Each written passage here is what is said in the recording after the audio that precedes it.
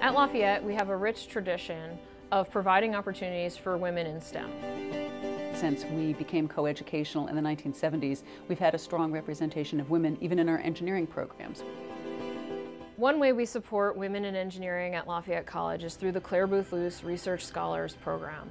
The CBL Scholars Program provides support for 42 women engineering students over the course of three summers to work one-on-one -on -one with their faculty mentors on a research project. It also provides for their housing, their supplies, and travel to national conferences. I love engineering because it's hands-on work out in the community. I received the Clare Boothe Luce Scholarship, which allowed me to be able to conduct my research at Sullivan Park Wetland last summer under Professor Brandis.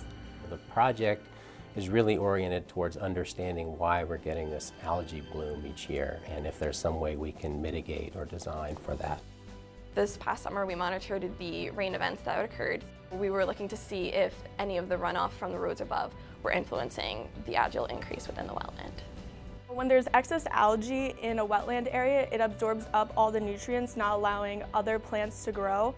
And then it also releases the nutrients as the algae dies and it goes into winter. So then this overwhelms the plants, so this affects all the other wildlife in the area.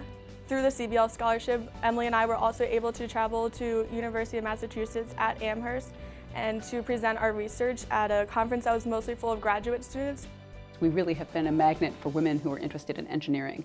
Nationwide numbers typically run something like 18 to 20 percent of engineers might be women in most programs. We've always had about 25 percent, which is higher than average. And in the last few years, we've had a tremendous resurgence of interest. We've had numbers in the 30s over the last couple of years, and this year I was incredibly excited to find that we had 41 percent of the first year students studying engineering this year are women.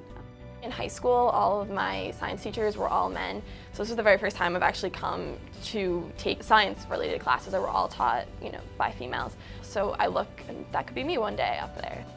Research shows that students who get involved early and have kind of that light bulb moment early on in their career can continue in a path to be successful and have the experiences that will prepare them for careers down the line.